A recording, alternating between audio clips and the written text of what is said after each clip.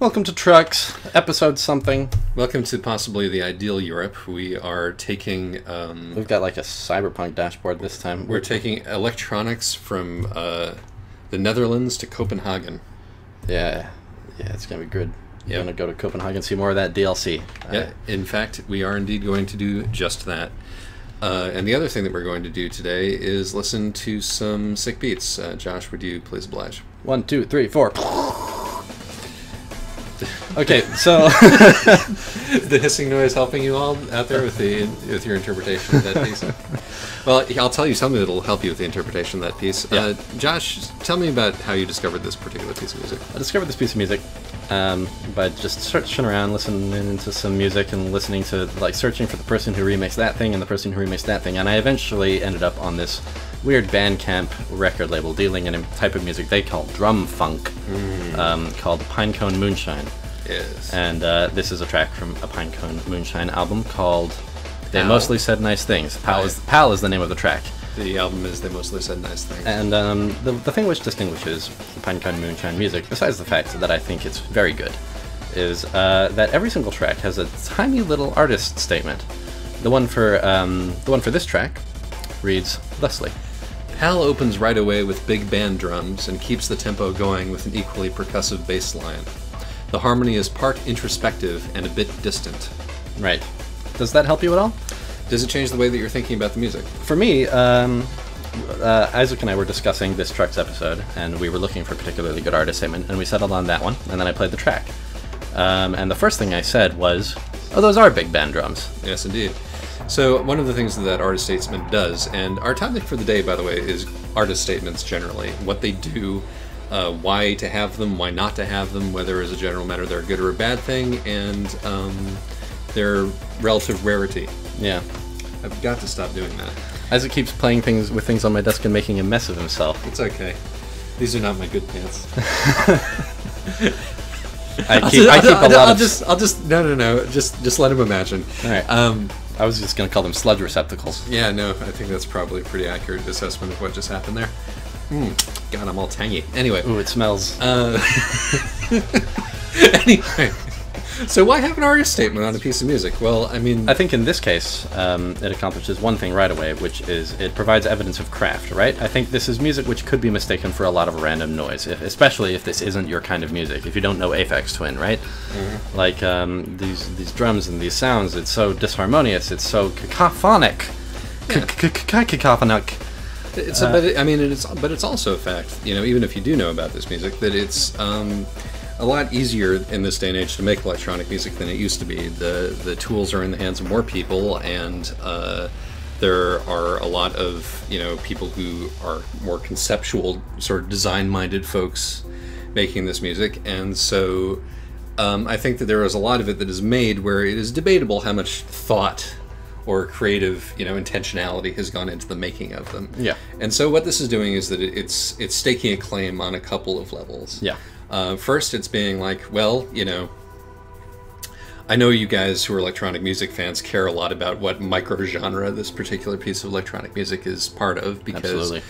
with in electronic music as in metal or punk or anything where there's a lot of like antisocial dudes working very hard on a very niche thing for a long period of time Right. um, sort of micro genres and overclassification proliferate And in this case, the particulars of that are that they're distancing themselves a little bit from drum and bass, which is the closest thing this sounds like. And like drum and bass was this thing I listened to in like the early 2000s when I was playing video games sometimes, and I was surprised that it was still around. But like the main difference between what you're hearing now and drum and bass is that this doesn't have like a, a traditional driving bass line. Instead, it has weird field recordings and like uh, sound collage elements, right? And like that that alone is enough to make it a, a new microgenre in the world of electronic music. Yeah, but th- this statement also seems to be saying every track here is going to be a genre unto itself.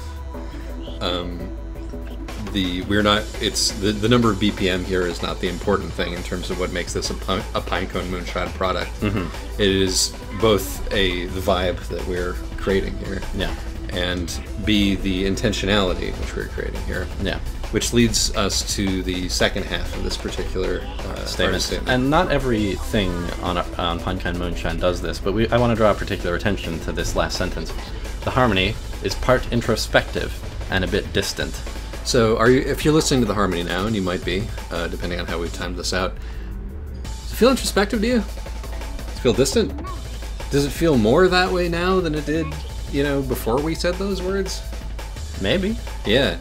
Um, so, music is best uh, in terms of its thematic content in and of itself at per, uh, portraying emotion, right? It without without words, without lyrics, it's not capable of communicating ideas that are that much more complicated than that, um, unless you are sort of talking like somebody who's synesthetic or i- into enough into sort of classical chord progressions to, to read it as if it were a kind of language of flowers and you know there's deviations from established norms and that kind of thing but you know in and of itself mostly it's going to make you feel good bad introspective melancholic ecstatic Which raises the question: Why does an artist statement for piece of music need to explain what the emotional content is?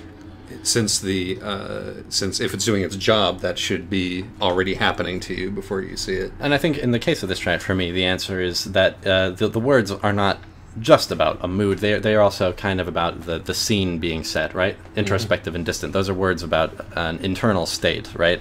Like I think it would have been the, the drum and bass is traditionally a very urban kind of music. It's it's about cityscapes. You know, on the album covers, it's all these black and white pictures of big concrete jungles. Um, dance you know and sort of and and like you know clubs and yeah, yeah. whereas this and whereas like the everything about this label from the name of the label which is like about as far away from an urban idea as you can possibly get Yeah. to the art on the on these particular albums Here's a few samples, maybe. Um, is trying to pull you away from that and into it's less representational. something new. It's more in, in, in, in, introspective, right? It's, Yeah. it's an internal it wants to make an here. introverted drum and bass Yeah. And so, in this instance, uh, when the music itself may not drag that as much, because music is so much about association, um, even so, you, in order to, for them to get across what they are, the what they're intending to do here, in order to drag you away from the associations you might have with this kind of music, you, they do need that extra push Yeah. and they're giving it. Um, but on the other hand, it doesn't it kind of limit your agency as a listener? Um, ideally, in music, um, I are and in, and and like this is this is this is just sort of a posit here. Ideally, in and you know we can take we can we can debate this, but ideally in any art, um,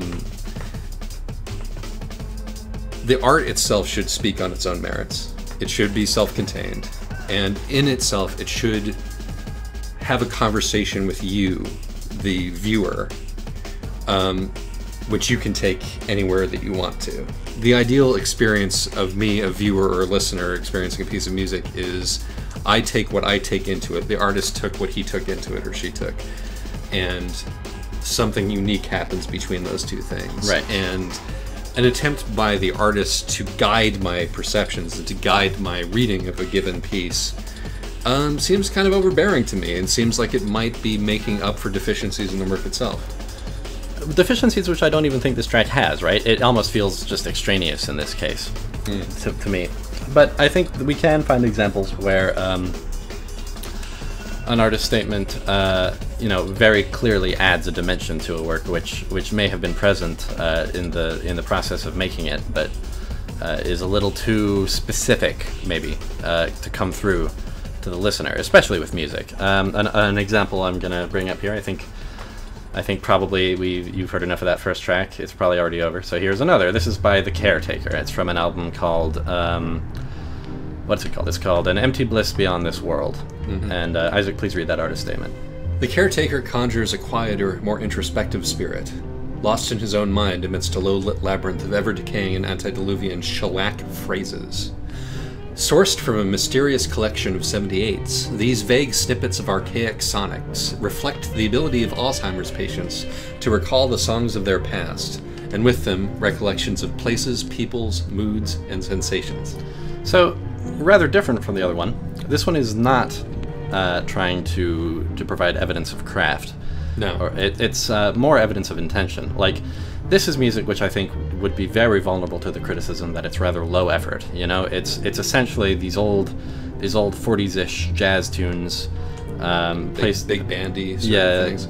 kind of ballroomy, but then passed through some filters to make it sound all echoey and distant, um, and then imprinted to a dusty ass vinyl, which which was then recorded, and that's thus the album. I mean, this is something. Right. Uh, This, despite is, some, this certainly does not require a great deal of musicality per se to have produced. Right, but I think the artist statement is very successful in proving um, that it's artistically worthwhile. Uh, I, I do think that this music would have created the, the mood it sets out to create uh, a kind of voidy, deathy mood uh, where the your relationship to the music is really estranged, uh, even without this statement. But the specifics about Alzheimer's uh, deeply compound that effect. Wouldn't you agree? Um, I would. I think that the. Oh shit. I think that as a listener, um, listening to this independently, while I might, you know, pick up the sort of the disquieting elements of Yeah. this, um, we certainly have seen like listener comments from people, or we've seen comments on this album from people who are like, "Oh yeah, this is good chill out music," or like, "Hey, you know, I, I listen to this while I, you know, while I do my chores or whatever." Like these people must live in a dungeon or something. well, it's like I, I think that it's entirely possible to focus on the, you know, the aspects of the music which are nice. which are nice, which Yeah. are sort of what what the remnants of niceness still within Yeah, this, yeah, yeah. and to sort of gloss over the the spookiness of it. Yeah. And as a listener, I wouldn't have come independently to the idea that I'm inside the the mind of an Alzheimer's patient. Yeah. Um, and uh, while that doesn't like control my reading of of, of the music, and it certainly, do, I think that I probably would, in like whether it doesn't change whether I like or dislike the music. Yeah. Because liking or disliking music is a different, uh, is sort of a thing that happens with an immediacy. I think um, that can't be thought through like this. Not usually, anyway. Um, I think I kind of came to like vaporwave the more I thought about it, but that's rare. Yeah, I mean, and well, that may say something about vaporwave, but Yeah. um, the uh, but re- regardless of thinking your way into liking something or not, like Yeah. the immediate visceral reaction isn't going to be changed by that idea. However, it is going to make my experience of it. It's going to navigate my experience of it down a particular path, and it's going to deepen that element of it to the point where it there is a sort of an oppressiveness to this music Yeah. and, a, and a, a suffocating a claustrophobia that, that, that sets in when I listen to it Yeah, yeah. that I don't think would have been apparent to me without that uh, note, without that Right. idea. And yeah, I also want to mention that I don't think either of these artist statements like set out to do 100% of the work for you in terms of understanding the music. Mm-hmm. They, they kind of pr- both provide entryways, but I mean, in the case of uh, the caretaker, like the, the the way the music loops, uh, I found after listening to it for a while, kind of resembled the experience of you know thinking about a song from your past, but only really being able to remember one part of it, which gets stuck in your head and you just hear it over and over and over, Yeah. like in a kind of frustrating way. It definitely feels like that sort of fugue state where you're you're half awake and your and your mind is playing something at you and you Yeah, can't get yeah. rid of it, or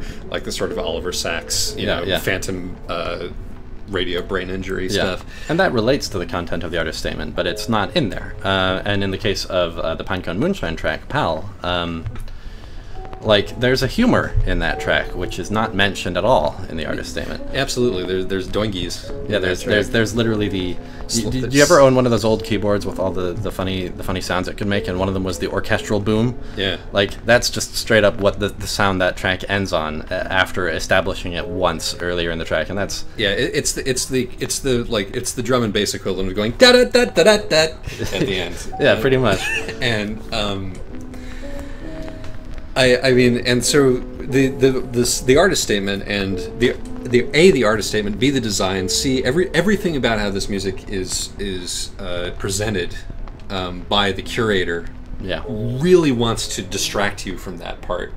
It doesn't want you to think of this as silly music, Right. Even though the artist clearly intended it for it to, be somewhat silly. Maybe. I, I feel like some of the artist statements on that website have referred to the humor present in the tracks, but I, my my interpretation is a little bit more charitable, I suppose. I I just thought he wanted to let the let the listener uncover that as a nice surprise, right? Sure. But um, yeah. Either way, like there's layers to this music. Even even the simple caretaker music that uh, un, that you can only uncover by hearing it, right? Absolutely. The the artist statement will never stand in for the art. Almost never. It's very hard to think of a case where that might might happen.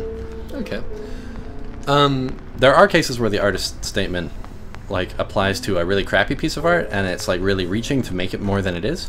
Yeah, we went to a, a, a show recently uh, called the, "The Neck and the Body" by Kaki King, um, where it, you know it's a music performance, but it's a it's a sort of multi uh, it's a multimedia light show thing where light is projected onto this guitar as Yeah. and playing it, and there there's an artist statement and there's a playbill, and Right. um, one got the impression watching the work that the concept was pulling a lot of the weight. Right. Um, this might have this might have something to do with the fact that Isaac and I just didn't care for the music, right? Yeah, and once again, you know, that's going to be up or down, you know, Yeah. but there wasn't a lot of complexity in the music Yeah. either. I mean, if, if you want to think about it objectively. Um, This also happens in sculpture, though. Like, um, my Monica and I recently went to see a show in the MoMA uh, by, I think George Gober was his name. Um, and like, there's this one piece, laughable, laughable piece of sculpture. Um, basically, it consisted of a wedding dress in the middle of the room, which was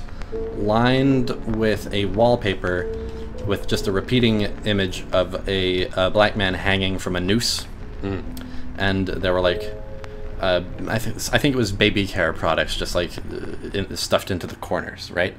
And like the artist statement was seemingly trying to do so much work here. It, it said st- something about how the uh, the um, the the fucking wallpaper was a reminder of the the the background radiation of racism that exists in this country whilst we just try to enjoy our happy domestic uh, existence is represented by the wedding dress and the baby products where the fulcrum I, I believe it literally referred to it as the fulcrum on which the the entire piece swings you know like right. this is preposterous You, mu- I mean, there, there's definitely a school of, of art and a school of performance and, and installation art, particularly, uh, where it's like you might as well just written the fucking statement. You Yeah. know, you came up with an idea, and the execution does not add anything to your idea. yeah So you might as well have just written the idea down. And this was actually something that uh, hit me very hard uh, in senior year of writing school. Is that I was always trying to make my fiction mean things, right? I, there was always a specific idea I wanted to communicate with my fiction,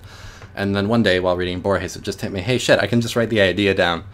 Like I could be, I could be an essayist and like skip all this this crap I'm putting myself through." Uh, and that's what I've been doing ever since, right? So I mean, there's definitely something to that, but. At the best of times, an artist statement I think augments a work of art. Yeah, Right, and it, it is the art. The, I think that like you know, and it's a gradient. I think some some art requires a statement, um, and some art doesn't. Yeah. and some art is fun, and it, some art uses its statement as a crutch. yeah. Um, so let me let me go. We could go in one of two directions from there. I think that uh, the next thing that I want to listen to is a piece that comes without an artist statement of any kind. Okay. Uh, this is by Tumblr user Lamezone, um, and uh, we should be listening to it now. Yep. Uh, the it comes without any metadata whatsoever. The only uh, thing that you have to contextualize you is this image. This image. There it is. Um, does that help? doesn't help me. Right. I mean, I like the music, but Well, the, the image does nothing for me. Well, so and and so this is the thing, right? It's like this by by virtue of not being sold, by not existing on a on like a a, a website with a product description, uh, without any words about you know what it is or why it's there whatsoever.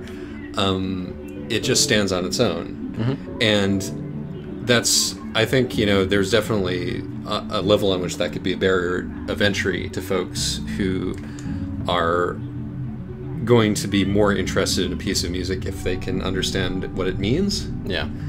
Um, but for me, it's really refreshing in a way to have a piece that is, or to listen to a piece of music that does not even have the sort of basic background radiation of contextualization that we Yeah, not even music reviews to help you with that. Eh, eh, right like nobody's talking about it um, it, or if they are, I can ignore them talking about it. You know, the artist is very clearly has nothing to say about it beyond here's the vibe. Yeah. And if the music does not give you the vibe, then the music has failed. So there's nothing else to say. Sure.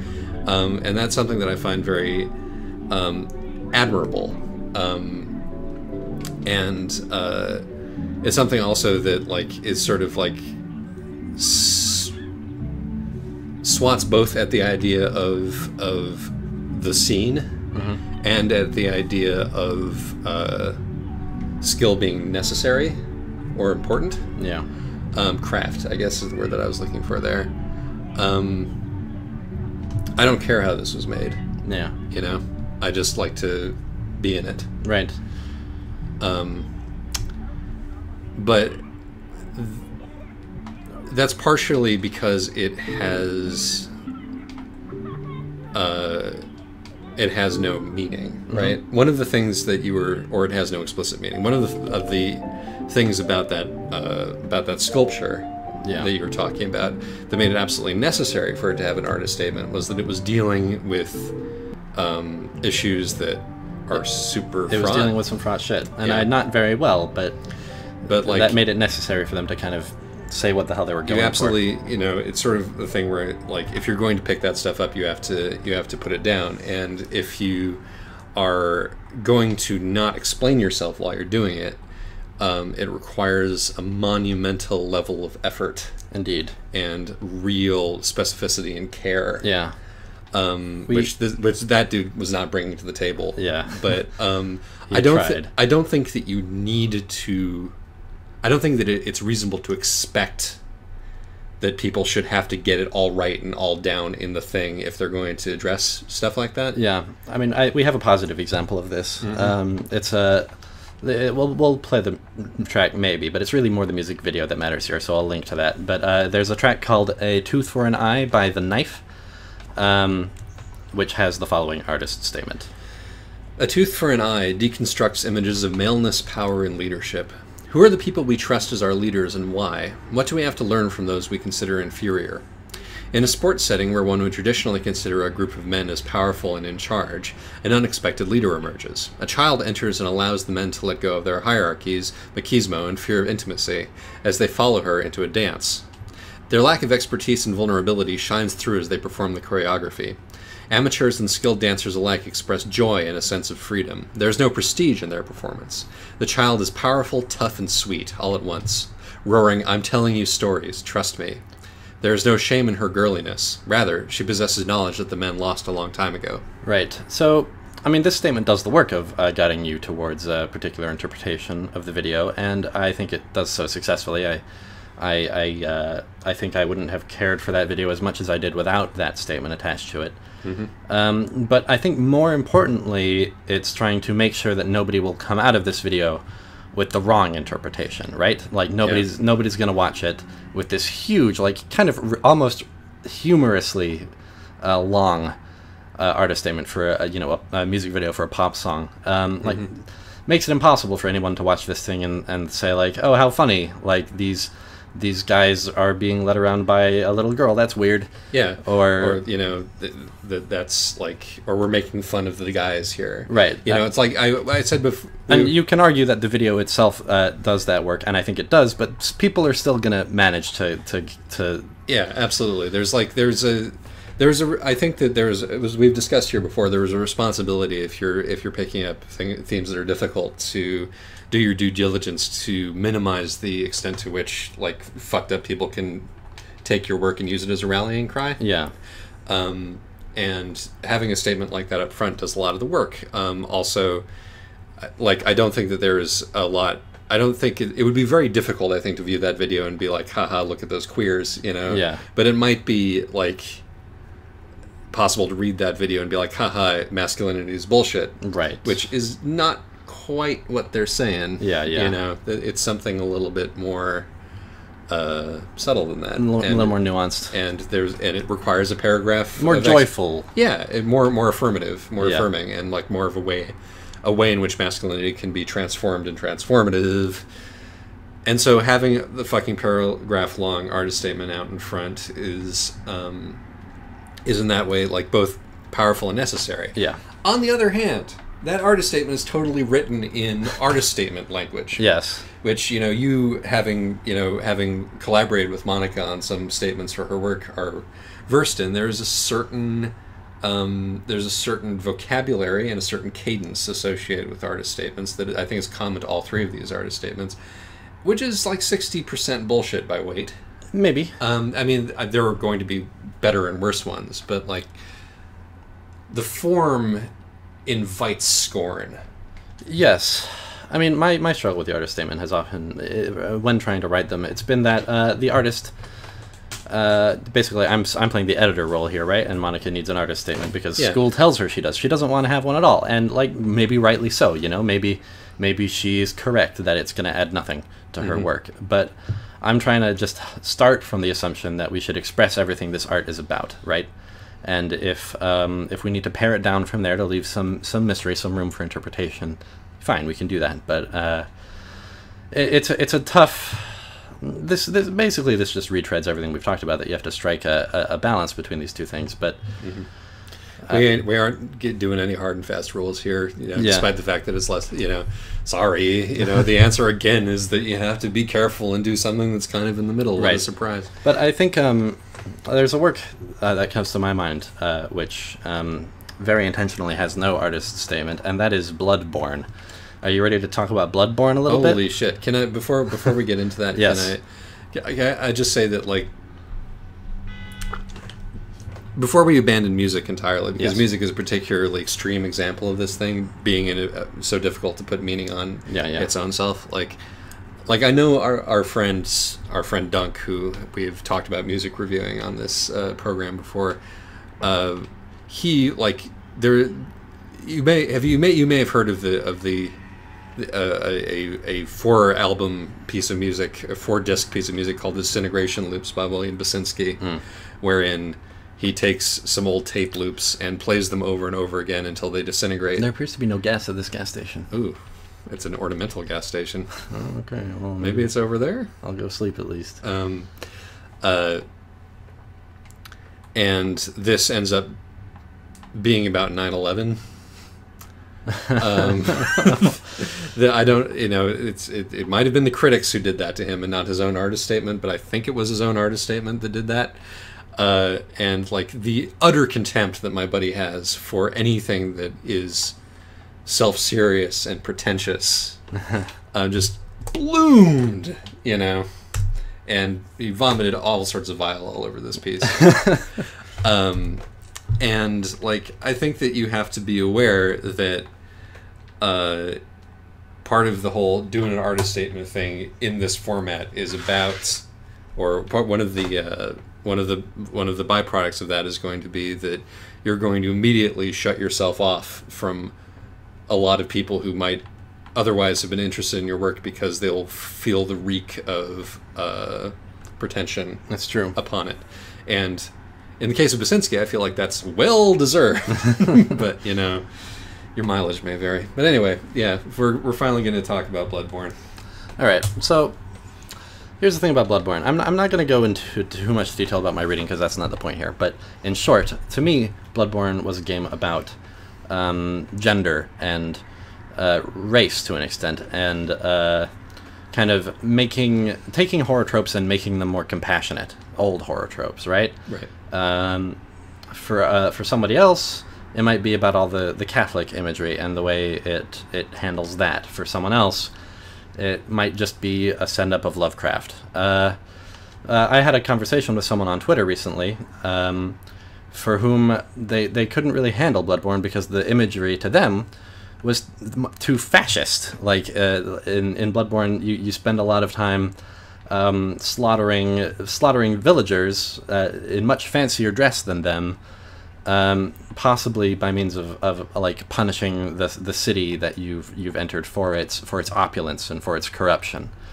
Um, and it's like, yeah, that's a pretty valid reading too. The thing with Bloodborne, like, Bloodborne is an extremely textual game, and I, I, it's kind of sacrosanct to say that like every, all art is text, like all art can be read however you want. But I feel like the the Souls games and Bloodborne, um, kind of go out of their way to not deliver any particular messaging, but to basically to pick a bunch of stuff up without putting it down, right? Right. And um, I mean, like all artists m- maybe text, but you know, so are Aesop's fables. yeah, Right. Like you know, there are there there are there's going to be art that wears its intentionality on its sleeve, no matter what it is. And, Yeah. And there's some that isn't.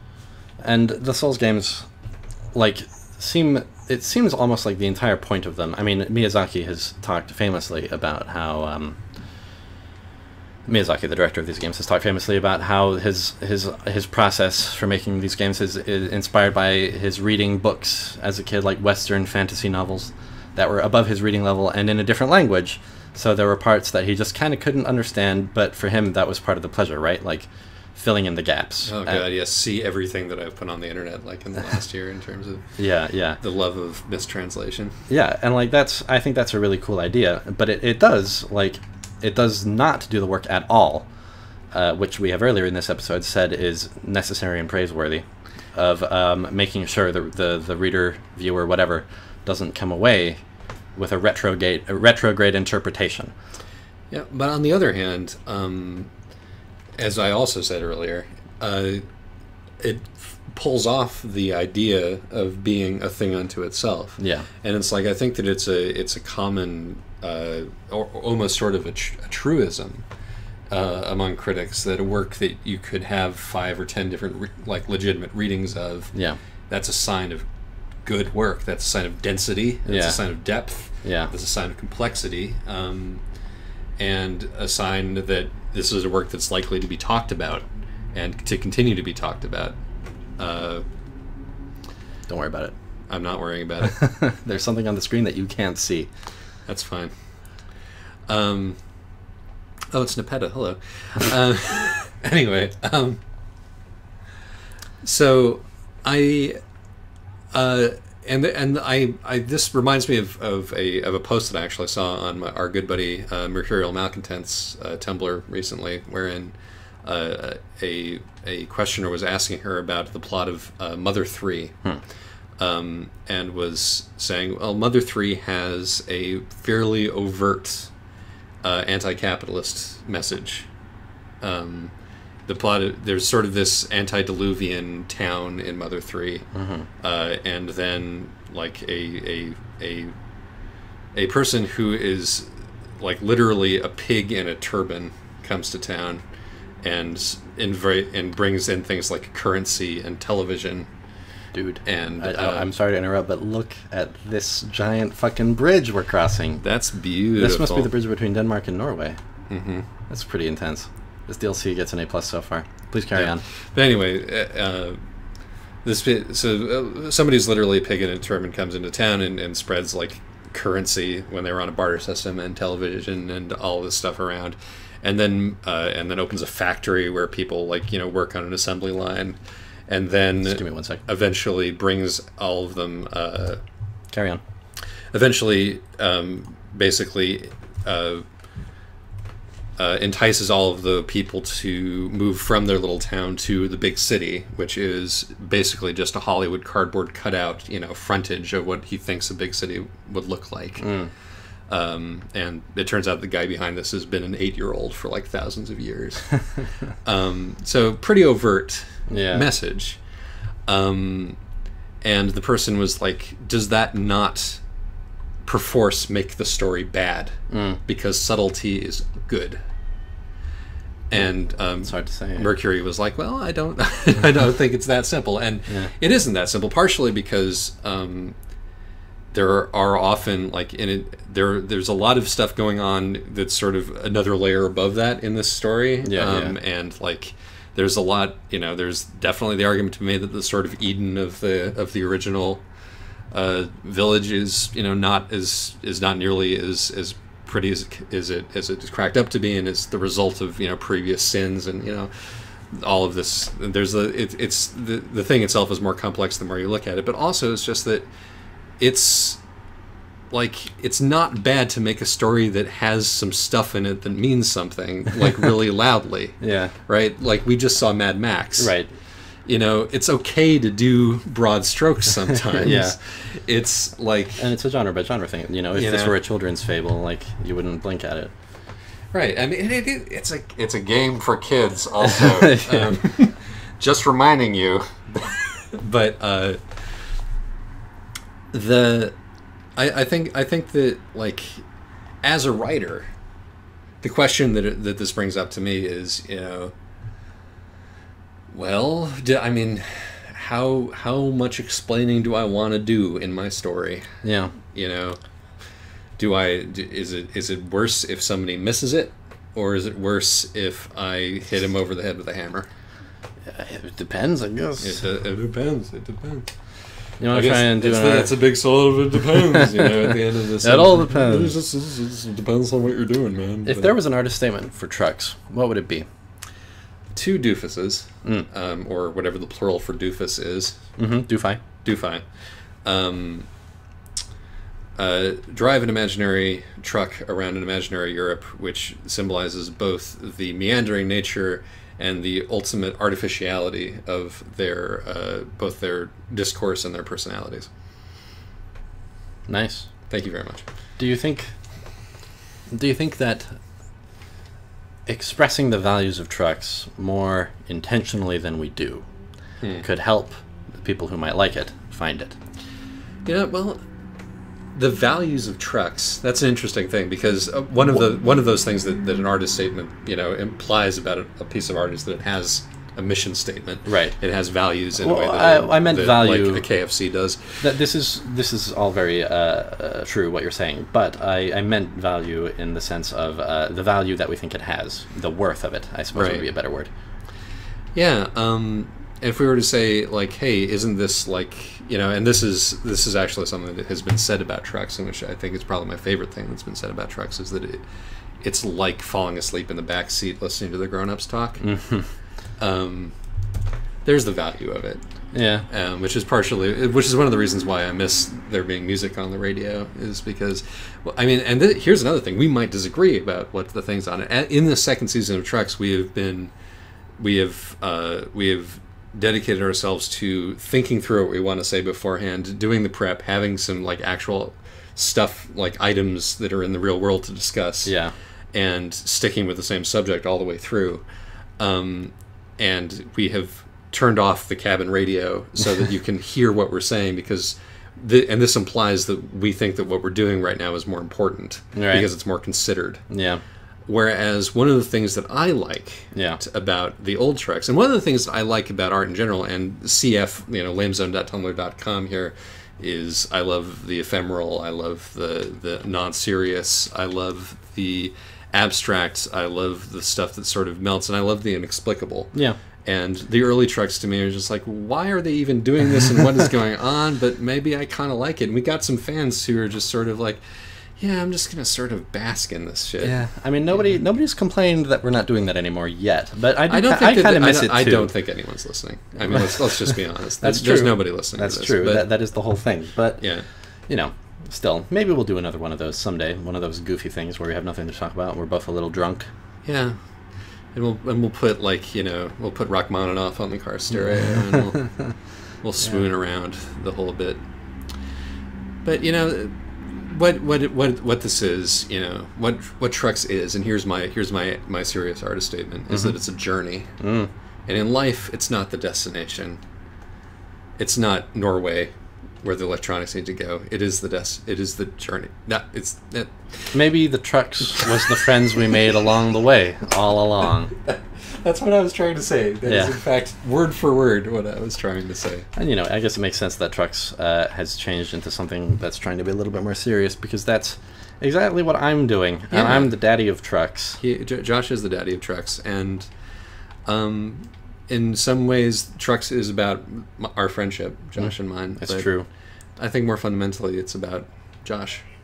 Ah, Yeah, because I'm disposable. that's not true. You, you know, you you all know this. trucks would not be the same could without just, Isaac. I could just, you know, walk out of the room and be exactly the same thing. The Hey, value- man, his Dark Souls thing, it's so much better than any of this because it's just Josh. well, it's not because it's just me. It's No, because it's I it's because I It's wrote because it. you actually wrote it out. that's the only That's reason. Important. But um, no, I mean, trucks would not be the same without Isaac. The, the value Isaac brings is that I can, I can say, hey, here's an interesting thing. I'm not sure why it's interesting, and then Isaac will be able I'll to tell say- you why it's interesting. Yeah, Isaac will like Yeah. nail it. Yes. but the the, the, the important I wasn't just saying you know it's me and Josh in the cabin because it's not just me and Josh in the cabin it's you in the non-existent back seat of this truck um, it's Can't even look back there. yeah we, you you you are are you our children are you know are notional at best but we love you anyway and it's that sort of cozy dusky feeling that I feel like we want to uh, achieve here When all is said and done, trucks.com when all is said and done, and the final the final truck has driven along the final road, Mm-hmm. leave us a comment. like and subscribe. Tell us what the artist statement of trucks is Yes. in the comments, please. You think I should try and park? It's one of these tough ones where I have to do it at kind of a right angle. Nah, fuck it. I don't think we're going to improve on what we just did in terms Yeah. of an ending. All right, guys. Thanks for listening. Peace out. Let's let's get the rating. Good work. Nicely done. Good work. It's telling us that we're doing good work. Doesn't Cool. doesn't that feel good? I'm just going to wipe the ketchup off my pants. Okay. Goodbye, everybody.